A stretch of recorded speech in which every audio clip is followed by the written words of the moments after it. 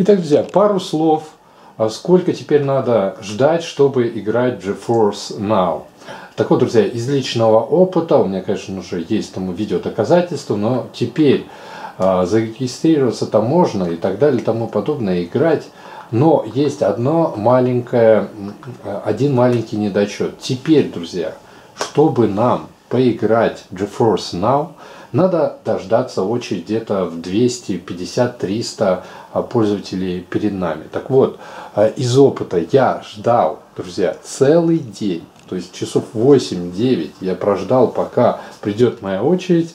Но потом я, а, у меня были проблемы а может быть это из GeForce Now, может быть непонятно еще из-за чего, я не мог зайти в, а, кстати, сейчас он, видите, даже не, не заходит в какую-то игру, я не мог зайти в свой аккаунт Steam, и из-за этого, ну, короче, сбросилась очередь, и мне надо было опять ждать 9 часов и так далее, что я подумал, что нет.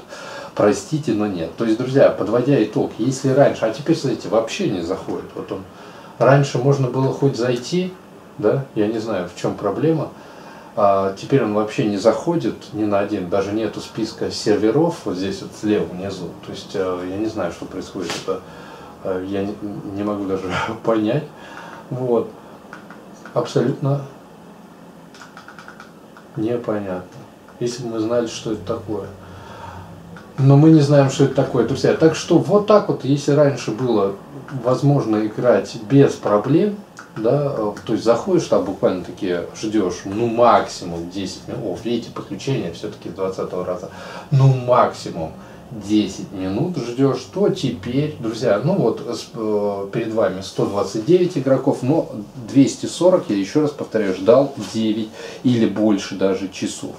Вот. И у меня нет никакого желания сейчас ждать заново, плюс а, вводить э, пароль логин и пароль, а, значит, э, и так далее. И, ну, короче, какие-то проблемы были с подключением логина и пароля от Steam.